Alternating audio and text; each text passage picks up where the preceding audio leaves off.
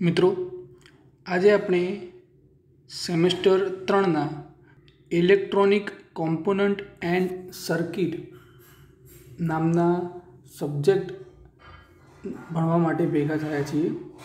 તો આ સબ્જેક્ટને આપણે ટૂંકમાં કહીશું ઈ સી સી બરાબર? મિત્રો, આ સબ્જેક્ટમાં ભણવાનું શું આવશે? તો બેઝિકલી આ સબ્જેક્ટની અંદર ઇલેક્ટ્રોનિક કોમ્પોનન્ટ વિશે આપણે અભ્યાસ કરીશું.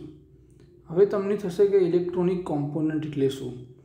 તો આપણને ખ્યાલ છે કે કોઈપણ પદાર્થ હોય તેના ત્રણ પ્રકાર હોય. બરાબર? પહેલું હશે કંડક્ટર બરાબર?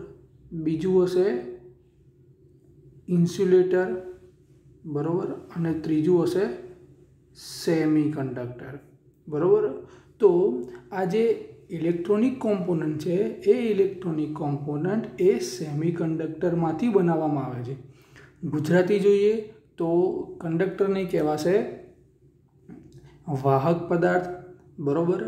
ઇન્સ્યુલેટરને કહેવાશે અવાહક પદાર્થ અને સેમી કંડક્ટરને કહેવાશે અર્ધવાહક પદાર્થ, બરાબર? એટલે આપણા જે ઇલેક્ટ્રોનિક કોમ્પોનન્ટ જે છે, તે ઇલેક્ટ્રોનિક કોમ્પોનન્ટ એ સેમી કંડક્ટર પદાર્થોમાંથી બનાવવામાં આવે છે. બરાબર? અને આ ઇલેક્ટ્રોનિક કોમ્પોનન્ટનો ઉપયોગ ખૂબ જ પુષ્કળ પ્રમાણમાં આપણે રોજિંદી જીવનની અંદર તેનો ઉપયોગ થતો હોય છે. એનું હું તમને એક સરસ મજાનું ઉદાહરણ આપું તો આપણો મોબાઈલનું ચાર્જ કરવા માટે જે ચાર્જર આપણે જે યુઝ કરતા હોઈએ છીએ, બરાબર? તે ચાર્જર પણ સેમિકન્ડક્ટર મટીરિયલનું જ બનેલું હોય છે. એટલે એની બનાવટ પણ એ આ સબ્જેક્ટની અંદર તમે શીખશો. બરાબર? બીજી વસ્તુ કે આપણી જે નોર્મલ જે પાવર સિસ્ટમ છે, બરાબર? એ પાવર સિસ્ટમની અંદર પણ ઇલેક્ટ્રોનિક કોમ્પોનન્ટનો ખૂબ જ બહોળા પ્રમાણમાં ઉપયોગ થાય છે. આપણે કયા કયા ડિવાઇસીસ ભણીશું? તો પહેલાં ભણીશું ડાયોડ, બરાબર? તેના પછી ભણીશું ટ્રાન્ઝિસ્ટર બરાબર? તેના પછી ભણીશું એમ્પ્લીફાયર, ઓસિલેટર, અલગ અલગ પ્રકારની switching circuit, wave shaping circuit અને પાવર સપ્લાય વિશે આપણે આ સબ્જેક્ટની અંદર અભ્યાસ કરીશું. બરાબર?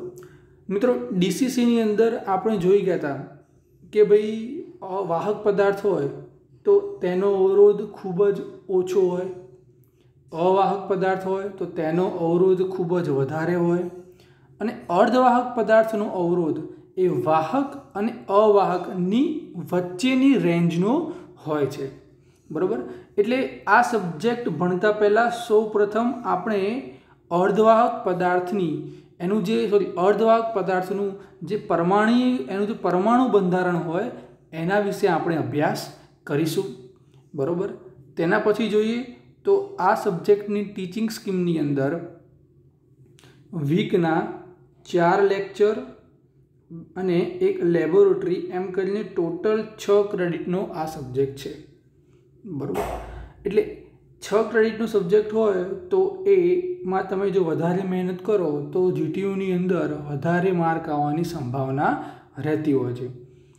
એની જે એક્ઝામિનેશન સ્કીમ જે જોઈએ તો સિત્તેર માર્કની જીટીયુની એક્ઝામ ત્રીસ માર્કની કોલેજની મિડ્સની મિડસેમની એક્ઝામ અને પચાસ માર્ક એ તમારી પ્રેક્ટિકલ એક્ઝામ એટલે તમારું સબમિશન અને તમારું લેબોરેટરી વર્ગના.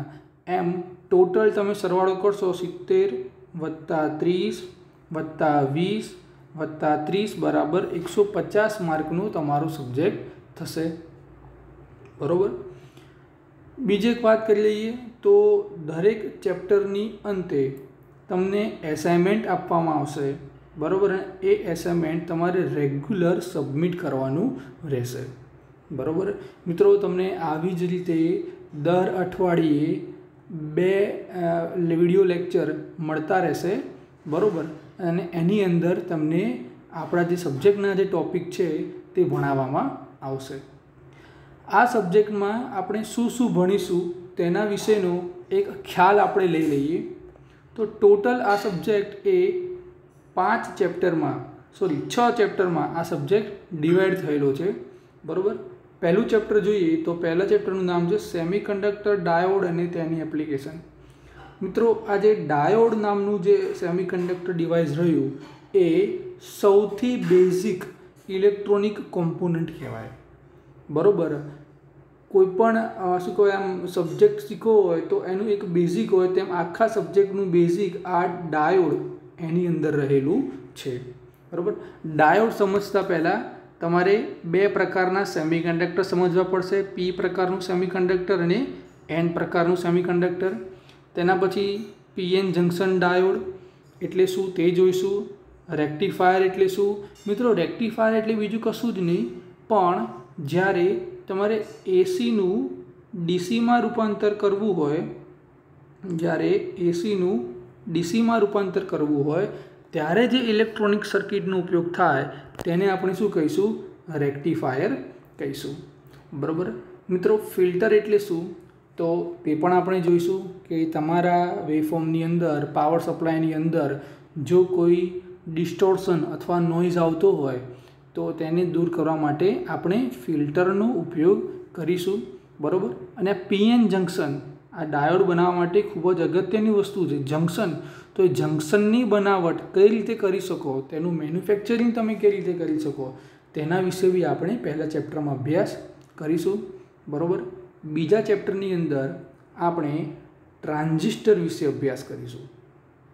મિત્રો, ટ્રાન્ઝિસ્ટરની અંદર પણ ટ્રાન્ઝિસ્ટરનું ફોર્મેશન એટલે ટ્રાન્ઝિસ્ટર કઈ રીતે બનાવાય, તેના પ્રકારો કયા, ટ્રાન્ઝિસ્ટરના ત્રણ પ્રકારના કન્ફિગ્યુરેશન હોય છે. એક CB configuration CE configuration CC configuration CB એટલે common base common emitter common collector configuration તેના પછી વોલ્ટેજ એમ્પ્લીફાયર વિશે અભ્યાસ કરીશું અને તેના પછી પાવર એમ્પ્લીફાયર વિશે અભ્યાસ કરીશું. બરાબર? તેના પછીનું ચેપ્ટર છે ઓસિલેટર આ ચેપ્ટર ખૂબ જ નાનું ચેપ્ટર છે, જેમાં આપણે ઓસિલેટરની કાર્યપદ્ધતિ અને અલગ અલગ પ્રકારના ઓસિલેટરો વિશે અભ્યાસ કરીશું. તેના પછી ચોથા નંબરના ચેપ્ટરની અંદર સ્પેશિયલ પ્રકારના સેમિકન્ડક્ટર ડિવાઇસ વિશે અભ્યાસ કરીશું.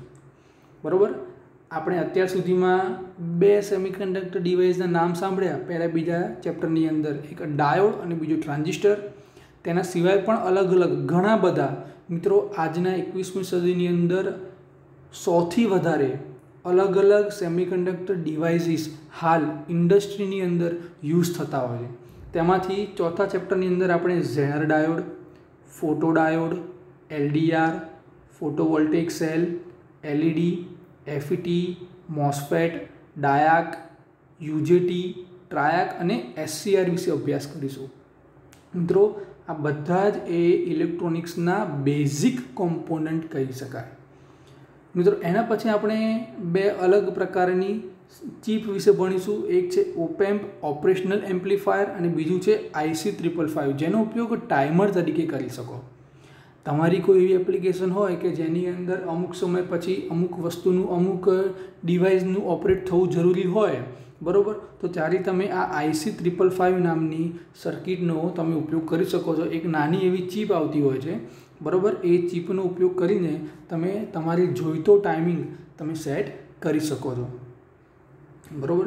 આ આપણે ભણીશું ચેપ્ટર નંબર પાંચની અંદર ઓપરેશનલ એમ્પ્લીફાયર અને આઈસી ત્રિપલ ફાઇવ આપણે ભણીશું ચેપ્ટર નંબર પાંચ, જેનું નામ છે આઈસી. બરાબર? આઈસીનું પૂરું નામ થાય ઇન્ટિગ્રેટેડ સર્કિટ. એટલે એક જ ચીપની અંદર ઘણી બધી વસ્તુઓ અંદર આવેલી હોય. એમાં ઘણા બધા સેમિકન્ડક્ટર ડિવાઇસ એની અંદર આવેલા હોતા હોય છે. બરાબર? એને કહેવાય આઈસી એના પછી આપણે ભણીશું રેગ્યુલેટેડ પાવર સપ્લાય બરાબર? મિત્રો પાવર સપ્લાય એટલે એક એવું ડિવાઇસ કે જેમાંથી આપણને વોલ્ટેજ અને કરંટ મળી રહે. બરાબર? તો આ રેગ્યુલેટેડનો મિનિંગ શું થયો? રેગ્યુલેટેડનો મિનિંગ એ થયો કે તમારી જરૂરિયાત મુજબ તમારે જેટલા વોલ્ટેજ જોઈતા હોય, તમારે જેટલો કરંટ જોઈતો હોય, એ કરંટ અને વોલ્ટેજ આ પાવર સપ્લાય પ્રોવાઈડ કરે તો તેને કહેવાશે રેગ્યુલેટેડ પાવર સપ્લાય બરાબર? તો એના પણ ઘણા બધા પ્રકાર છે. Shunt voltage regulator series voltage regulator બરાબર? આ કદાચ એસએમપીએસ અને યુપીએસ વિશે તમે નામ સાંભળ્યું હશે. એસએમપીએસ એટલે સ્વિચ મોડ પાવર સપ્લાય. એસએમપીએસનો ઉપયોગ એ તમારા પીસીની અંદર જે ઘણા બધા, તમે પીસીમાં જો પીટ પીસીની અંદર એક રેમ હોય, બરાબર? પીસીની અંદર શું હોય? એક રેમ હોય, બરાબર? બીજું શું હોય? તો કે એક હાર્ડ ડિસ્ક હશે, જેને આપણે એચડીડી કહીએ, બરાબર? તો આ બધાને પાવર સપ્લાય. બીજું મોનિટર હોય, બરાબર? મોનિટર હોય છે ને પીસીની અંદર મોનિટર હોય, બરાબર? તો આ બધાને શું જોતું હોય છે? પાવર સપ્લાય, બરાબર? આને પણ પાવર સપ્લાય આપવાનો, આને પણ પાવર સપ્લાય આપવાનો અને આને પણ પાવર સપ્લાય આપવાનો. તમારે શું કરવાનું? છે પાવર સપ્લાયની વહેંચણી કરવાની છે. તમારા પીસીની અંદર અલગ અલગ જે ડિવાઇસીસ તમે જે કનેક્ટ કરેલા છે કીબોર્ડ હોય માઉસ હોય મોનિટર હોય હાર્ડ ડિસ્ક હોય રેમ હોય, એના સિવાય પણ ઘણા બધા અસંખ્ય ડિવાઇસીસ તમારે પીસી સાથે કનેક્ટ કર્યો છે. તે તે બધાને પાવરની વહેંચણી કરવાનું કામ કોણ કરશે? આ એસએમપીએસ કરશે, જે સીપીયુની અંદર પાછળના ભાગે આવેલું હોય છે. બરાબર? તો આ એસએમપીએસ વિશે બી આપણે ખ્યાલ લઈશું અને યુપીએસ વિશે બી આપણે ખ્યાલ લઈશું. બરાબર? આજે તમે જોશો તો દરેકના ઘરની અંદર યુપીએસ એ લોકો આજે બધા રાખતા થાય છે, કદાચ લાઇટ જતી રહે.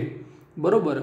તો આપણે જેમાંથી પાવર સપ્લાય લઈ શકીએ, તો આ એવું ડિવાઇસ છે જેને આપણે કહીએ છીએ યુપીએસ તો આ બે ડિવાઇસ આ બે ડિવાઇસ વિશેનો ખ્યાલ પણ આપણે છઠ્ઠા ચેપ્ટરની અંદર લઈશું. બરાબર? એટલે મિત્રો તમે સબ્જેક્ટ જોશો તો સબ્જેક્ટની અંદર આપણે ઇલેક્ટ્રોનિક કોમ્પોનન્ટ વિશે ઇલેક્ટ્રોનિક ડિવાઇસીસ વિશેનો અભ્યાસ કરવાના છીએ. બરાબર? એટલે હવે પછીના લેક્ચરની અંદર આપણે ચેપ્ટર નંબર એકની શરૂઆત કરીશું. બરાબર? તો આજના માટે આટલું જ રાખીએ. આશા રાખું છું કે તમને સબ્જેક્ટ વિશેનો બેઝિક ખ્યાલ આવી ગયો હશે. આવજો.